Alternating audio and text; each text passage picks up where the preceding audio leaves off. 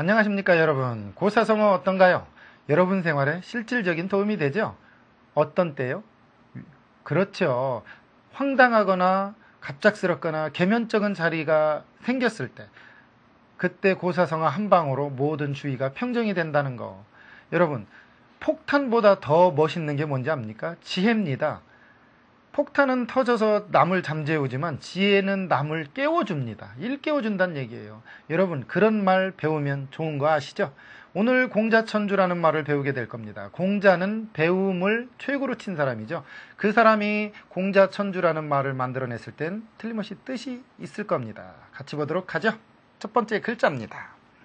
구멍공이라는 글자는요. 공자라고 할 때 쓰이는 성시공으로도 더 많이 알려져 있죠. 그런데 이 글자가 만들어진 어원적인 것은 매우 재미가 있습니다. 어떻게 만들어졌냐면요. 이 아들자는 씨앗자라고 그래서 씨앗 또는 악이라는 뜻도 있다고 배웠죠. 이건 새을인데 이게 제비을입니다. 한마디로 말해서 옛날에는 아기를 안산하기 위한다는 뜻에서 제비가 돌아올 무렵 여자가 아이 갖기를 기원하는 습관에서 이게 처음에는 매우라는 뜻이 있었습니다. 그러한 습관들은 그 당시에 모든 여성들이 매우 바래, 바랬다는 거예요. 그리고서는 제비가 그 제비집을 만들어 놓고 그 구멍 안에다가 뭘 낳죠? 알을 낳죠. 그렇듯 숨풍 났으면 했던 기원의식에서 나중에는 구멍공, 그리고 그 구멍공은 심하다 해서 심할공이라고도 하는 자까지 확대 해석된 나중엔 성씨로 쓰인 그런 경우입니다. 우리가 공혈 그러면 구멍이란 뜻이에요. 아주 쉽게. 공작 그러면 꿩과에 속하는 새라는 건 여러분들이 다 알겠죠. 지금 어땠나요? 이 구멍공의 어원은 아들자 옆에 세을이라고 해서 아들을 낳는 어떤 뭐 그렇게 해석하면 안 되고요. 제비가 제비집이 지어놓고 돌아올 때쯤 돼서 자식을 갖기를 바랬던 옛날의 풍습에서 생긴 일이라는 거죠. 그래서 우리가 뭐라 그러죠? 그 어, 비둘기 같은 집 또는 제비 같은 집이라고 하죠. 옛날에 자기 집을 새로 짓고 이사 가면 꼭 초청을 합니다. 주의사는 요즘 말로 말하면 뭐라 그러죠? 집들이처럼. 그때 서간에 쓰는 말이 연소라는 말을 썼습니다. 연소. 내 20평생 이제서야 연소를 장만하니 와서 한번 축하 좀 해줘서 연소, 제비연자, 집소자 이렇게 썼단 얘기예요. 제비집이었다고 얘기했다는 거죠. 너무나도 재미있는 표현 아닌가요? 그 다음 글자 한번 보도록 하죠. 그만, 그 다음 글자는 아들자라는 글자는 여러분들이 이제는 알 겁니다. 같이 보도록 하죠. 아들이 양팔을 벌리고 이렇게 서 있는 그러한 모양을 본땄다가 이렇게 된 글자죠. 어린아이가 두 팔을 벌리고 있는 모양에서 아들, 사람 이런 뜻이 됐고요. 자부 그러면 며느리라는 뜻입니다. 자손 그러면 아들과 손자라는 뜻이죠. 지금 보면 어때요, 여러분? 의외로 모든 글자가 뜻이 있고 어원이 있죠. 그 어원대로만 해주면 어렵지가 않습니다. 그런데 그 어원을 무시하고 파자로만 해석을 하면 억지 해석이 생긴다는 거죠. 그러면 또 다른 글자 하나 보도록 하죠. 공자 천주라고 그랬으니 천자를 배워봐야 되겠죠. 같이 보겠습니다.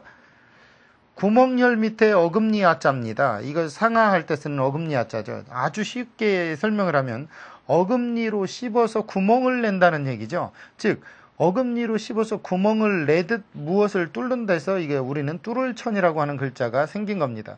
나중에는 그 뚫을천을 꿰일천이라고도 하고요. 천공 그러면 아주 쉬운 말로 그 구멍을 뚫다 또는 옆전의 구멍을 천공이라고도 했고요. 그 다음, 우리 그 천착하다. 말 많이 듣죠? 야야, 무슨 일에 한 곳에 천착을 해야, 어, 네가 best of best 최고가 될 수 있다. 뭐 이런 말 들어본 적 있죠? 이때 천착은 구멍을 뚫는다는 뜻이기도 하지만 비유해서 학문을 깊이 파고들어 연구하는 것을 천착이라고도 합니다. 여러분, 의외로 공자 천주에 주는 구슬주라는 글자인데 이 천자를 씹을 천만 이렇게 알아도 안 되고요. 뚫을 천만 알아도 안 됩니다. 옛날 어금니에다 무언가를 이렇게 해서 질겅질겅 씹어가지고 그거를 뭘 꿰는 경우가 많아요. 우리 어른들 실밥 바늘귀에다 꿰일 때 그게 뾰족하지 않으면 어금니로 이렇게 이렇게 해서 침을 발라가지고서 뾰족하게 만들어서 딱 꿰죠. 그걸 천이라고 했다 이 말이에요. 그러면 마지막 글자 글 무슨 잔지 같이 알아봐야 되겠죠? 물론 천주라고 했으니까 구술주라는 글자가 나오겠죠. 같이 보겠습니다. 구술주는요, 이렇게 구수록변 임금왕이라고 하는 글자죠. 우리 이거 잘알 겁니다. 그, 이것을 어떤 사람들이 꼭 말하기를 임금왕이다 그러는데 아닙니다. 이게 변으로 쓰일 경우에는 구수록을 대부분 상징하죠. 옥이 붉은 빛을 내는 것처럼 빛깔이 고운 구슬이라는 데서 구슬주자입니다. 그럼 구슬옥과 구슬주는 어떻게 틀리냐? 구슬주는 둥그렇고 구슬옥은 둥그렇지 않아도 됩니다. 옥돌처럼 그냥 뭐 그냥 크면 돼요. 이게 무슨 얘기냐? 구슬과 옥돌이라는 뜻으로 아름답고 훌륭한 물건을 주옥이라고 그러고요. 주렴 그러면 구슬을 깨어 만든 발을 주렴이라고 합니다. 공자천조 이제 낮자 공부 다 됐습니다. 그러면 일단 문법부터 한번 봐야 되겠죠? 어떻게 문법이 만들어지는지 같이 한번 보죠.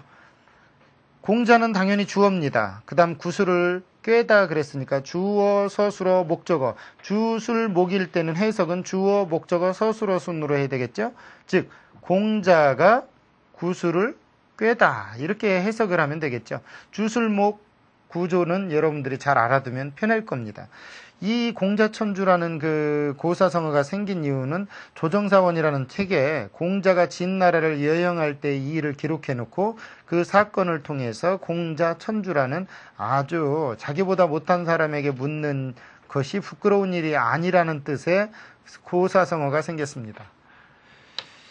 공자는 어떤 사람이죠? 배움을 최고로 치고 인을 주장한 사람입니다. 그 공자께서는 자기가 모르는 거나 자기가 어, 좀 부족하다는 것은 나이가 어리든 여자든 상관없이 묻는 습관이 있고 꼭 배워오고야만은 아주 뛰어난 학문적 소양이 있었던 분입니다. 그 공자가 하루는 진나라를 여행하는데 어떤 사람이 공자의 소문을 듣고 중기한 구슬을 이렇게 바쳤습니다. 당신한테 내가 평소 존경해서 이러한 구슬을 드리노라고 드렸더니 자세히 보니까 구멍은 뚫려 있는데 이걸 꿰야 이게 진주가 되겠다 이 말이에요. 그런데 꿰려고 보니까 그 구슬이 구멍이 자그마치 구비구비 아홉 굽이나 이렇게 구부러져 있어요. 그러니까 바늘로 꿰 수도 없고 실을 밀, 밀어서 하려고 해도 구비구비구비 아홉 굽이 이렇게 돼 있는 구슬을 어떻게 꿰냐 이 말이에요. 못 꿰고 있어요. 그래서 생각하다가 옛날 여자들은 이걸 꿰수 있을 거다 생각하고 그, 그 뽕나무 밭에서 뽕을 따는 아낙네한테 묻습니다. 이거 어떻게 하면 구슬을 깰수 있습니까? 그러니까 그 아낙네도 참 지혜로웠던 모양이에요. 이렇게 얘기합니다. 곰곰이 생각해 보십시오. 생각을 곰곰이 해 보세요. 너무 재밌죠? 미리 사지 사지 미리라는 그 유명한 말을 했는데 생각을 곰곰이 하십시오. 곰곰이 생각해 보십시오. 똑같은 얘기지만 너무너무 재밌죠? 그러자 공자는 구슬을 가지고 이렇게 들여다보고 있는데 때맺힌 개미가 그 밑을 지나갑니다.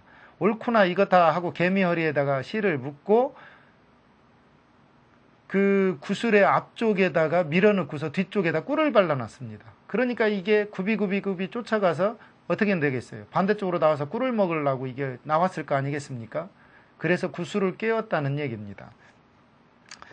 대공자라는 사람의 명성이 자자해서 그 명성을 듣고 쫓아온 자기의 일종의 추종자가 준 구슬을 꿰는 방법을 몰라서 뽕나무밭에서 일하는 안학내한테 묻고 스스로 답을 찾아내는 공자의 학문 정신.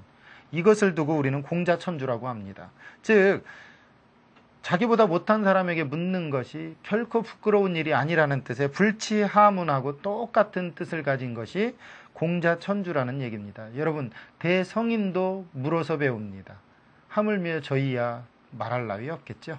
오늘 강의는 여기까지입니다, 여러분. 뜻을 생각하시면서 좋은 충고 하나 이웃 사람들한테 전해 주십시오.